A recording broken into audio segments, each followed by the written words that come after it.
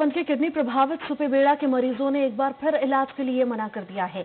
मरीज़ ना तो इलाज कराना चाह रहे हैं और ना ही फॉलोअप के लिए रायपुर जाने को तैयार हैं। देवभोग बीएमओ ने ग्रामीणों की एक बैठक ली थी, जिसमें बात सामने आई। हालाँकि इस बार ग्रामीणों ने इसके लिए सरकार को जिम्मेदार नहीं ठहराया है।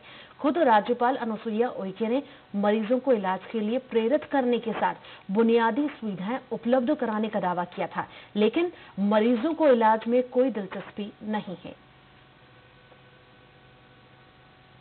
जैसे नहीं मरेगा। अभी जैसे कुछ लोग मर मर जा रहे हैं तो उनको किडनी की बता रहे हैं तो क्या है उसमें? मर जा रहा है। कोई भी, भी मरने से भी नहीं कोई कैंसर में मरने से भी ठीक नहीं उनका रिपोर्ट तो देखो भाई पहले। सर मैं भी सूचना देती हूँ पारा पड़ोस में भी जाके बोलती हूँ। डॉक्टर लोग आए हैं चलो चेकअप के लिए चलो। उन्हें लोग ना ही नहीं जाएँगे हम उसी दवाई मिल रहा है। उन बोलते हैं नहीं हमारा शरीर ठीक है। ऐसे ही बोलते हैं सब जन। लेकिन पब्लिक वो लोग भी गलती कर रहे हैं। और फिर कल मीटिंग रखा था उसमें प्रस्ताव यही आया था कि भाई हम लोग तो अभी ज़्यादा नहीं चाह रहे हैं अभी ठीक हो गए हैं ऐसे है उम्र दराज है बोले एक व्यक्ति बोला तो था वो थिलीगुड़ा को बोल रहा था उम्र दराज है साहब मैं बाद में जाऊँगा। और कुछ लोग बोले कभी नहीं जाए थे और कुछ का ये भी कहना था भाई कि वहाँ पर वो एसी वगैरह चलाते हैं ये है वो है तो उसमें रह पाना परेशानी होता है ये कहना